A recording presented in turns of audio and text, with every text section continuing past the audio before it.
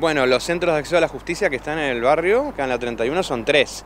El que está dentro del Galpón, eh, el que está en Güemes, al lado de la parroquia Nuestra Señora de Rosario, y el que se encuentra en la parroquia Cristo Obrero, en el barrio Comunicaciones. Son tres CAS que se fueron abriendo en el plazo de estos ocho años. Somos los que cuando tuvieron necesidad de, llegar a algún derecho que le, daba el gobierno o, que tenían por sí propio, nosotros nos encargamos de gestionarlo, de tratar que lo tengan, o sea, somos los que estuvimos en la mediación comunitaria cuando las necesitaste por el tema de los alimentos, por el tema de que te llevabas mal con tu pareja, por el tema de que te llevabas mal con tu vecino, cuando necesitaste el DNI, cuando estuviste preguntando y buscando asesoramiento jurídico por otro tema. Yo soy administrativa, yo me encargo de todo el área de trámites online, de migraciones, residencia, de sacar turno para exhibición de pago, registro civil.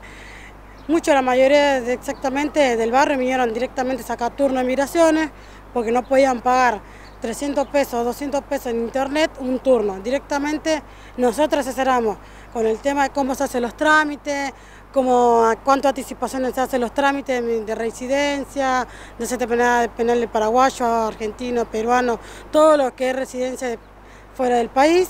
Este martes 11 en la capilla nuestra, en el centro de acceso a la justicia que está al lado de la capilla Nuestra Señora Rosario, el container verde. Bueno, ahí a las 11 de la mañana el martes, eh, la idea es esperar a todos los que alguna vez vinieron para hacer todas las cosas que dije antes.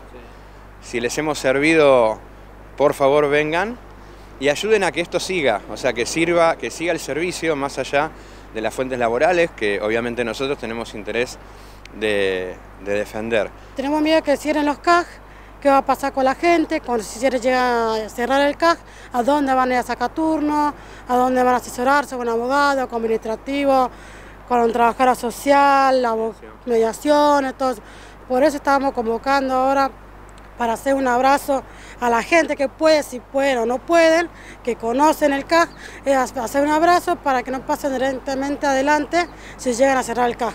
Lo que básicamente está ocurriendo es que el lugar donde se nucleaba el dinero para pagar los sueldos nuestros, ahora va a cambiar de mano, ya no va a estar más manejado por el Ministerio de Justicia y va a pasar directamente a Economía.